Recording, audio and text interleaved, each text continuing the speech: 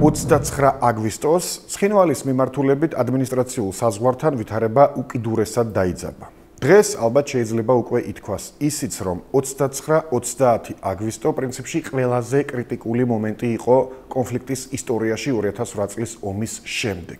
შეგახსენებთ, რომ ჯერ კიდევ აგვისტოს დასაწყისში, ანუ მას შემდეგ, რაც რუსმა მესაზღვრეებმა განაახლეს ეგრეთ წოდებული ბორდერიზაციის პროცესი, გამყოფ ხაზთან გახშირდა ინციდენტები და გარდა ამისა შეიქმნა რეალური საშიშროება მართულ ხლართებს მიღმა აღმოჩენილიყო აქამდე თბილისის მიერ კონტროლირებადი მონაკვეთები. შექმნილ სიტუაციაში ქართულმა მხარემ მიიღო გადაწყვეტილება გამყოფ ხაზთან მდებარე სოფელ ჩორჩანაში დაემონტაჟებინა სტაბილური საგუშაგო და ასე დაეფიქსირებინა წითელი ხაზი, რომლის გადმოკვეთასაც აღარ დაუშვებს. როგორც მოსალოდნელი იყო საგუშაგოს დამონტაჟებამ ძალიან გააღიზიანა ცხინვალი. შესაბამისად, დე-ფაქტო ადმინისტრაციის მხრიდან გაკეთდა მწვავე განცხადებები და გაჟღერდა ულტიმატუმი საგუშაგოს დაუყოვნებლივი დემონტაჟის მოთხოვნით.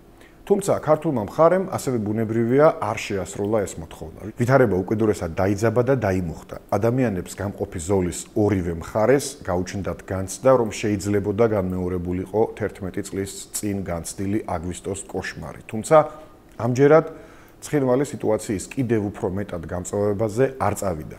თუმცა ქართული საგუშაგო საპასუხოდ როგორც ჩანს ისინი საკუთარ საგუშაგოს ააშენებენ ჩორჩანას მოსაზღვრე სოფელ წნელისში, რომელიც გამყოფი ზოლის იქეთა მხარეს მდებარეობს. ასეთია 2019 წლის აგვისტოს დაძაბულობის მოკლე ქრონოლოგია. აღსანიშნავია, რომ ეს დაძაბულობა ცხადია ჯერ არ დასრულებულა და მომავალში არ არის გამორიცხული ვითარება კლავ შეიცვალოს, მაგრამ ის ყველაფერი, რაც უკვე მოხდა, მაინც იძლევა საფუძველს გარკვეული დასკვნები გავაკეთოთ. მაშასე, დასკვნა პირველი წნელისის კრიზისმა დაგვანახა, რომ რეალურად შესაძლებელია საკუთარი წითელი ხაზების დაფიქსირება და მათი დაცვა ყოველგვარი ფუყე მილიტარისტული ბაქიბუქისა და სამხედრო მანქანის უაზრო გადაადგილება გადმოადგილების გარეშე. ასევე დავინახეთ, რომ შესაძლებელია და აუცილებელიც კია მოწინააღმდეგე მხარესთან კომუნიკაციის შენარჩუნება, მაშინაც კი, როცა სახეზე გვაქვს პროვოკაციის აშკარა მცდელობა და ამ კომუნიკაციით უფრო მეტის მიღწევა შეიძლება ვიდრე კომუნიკაციის გაწყვეტით, გაბუტვით და რიხიანი მონოლოგის რეჟიმში გადასვლით, რაც ასე ახასიათებდა მაგალითად საქართველოს წინა ხელისუფლებას. მე საერთოდ მიჭირს წარმოვიდგინო რა შეიძლებოდა მომხდარიყო ამ აგვისტოში საქართველოს ხელისუფლებაში, რომ ისევ ნაციონალური მოძრაობა ყოფილიყო, ისევ თავისი ჩვეული პოლიტიკით. თუმცა ყველაზე უფრო დამაჯერებელი მაინც ის ვერსია მგონია, რომ ასეთ შემთხვევაში საქართველოს როგორც სახელმწიფო ალბათ 2019 წლის აგვისტომდე უბრალოდ ვერც მოაღწევდა. შემდეგ დასკვნა მეორე. კრიზისის დროებითმა განმუხტვამ არ უნდა მოგვატყუოს და არ უნდა გადავიდეთ ფუჭი თვითკმაყოფილების მდგომარეობაში. ფაქტია, რომ 20 ივნისის შემდეგ სიტუაცია ზოგადად მიდის გაუარესებისკენ და ამ პროცესს მთლიანობაში აქვს არა შემთხვევითი არამედ კანონზომიერი ხასიათი, რაც პოლიტიკური მიზეზებით არის განპირობებული.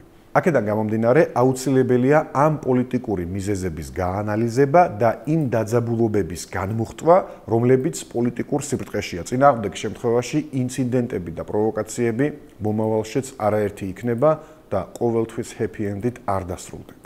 და ბოლოს ჩორჩანა წნელისის ინციდენტმა კიდევ ერთხელ გამოავლინა ქართული საზოგადოების შიგნით არსებული ერთი არასახარბიელო ტენდენცია. რომელსაც განვლილი 30 წლის მანძილზე არაერთი პრობლემა შეუქმნია უპირველეს ყოვლისა ისევ და ისევ ქართული სახელმწიფოსთვის. ეს არის საზოგადოების ერთ ნაწილში დამკვიდრებული არასერიოზული და ავანტიურისტული დამოკიდებულება ომისა და კონფლიქტების მიმართ, რაც სავარაუდოდ ხანგრძლივი პერიოდის მანძილზე საკუთარი სახელმწიფოს არქონით და სახელმწიფოებრივი აზროვნების დეფიციტით არის განპირობებული. მოკლედ რომ ვთქვათ, ქართულ საზოგადოებაში არიან ადამიანები და პოლიტიკოსები, რომლებიც თავს უფლებას აძლევენ საკუთარი პატრიოტიზმი დაამტკიცონ ბჭყალებში რადიკალური განცხადებებით, მოწოდებებით ან ქმედებებით კონფლიქტების მიმართულებით.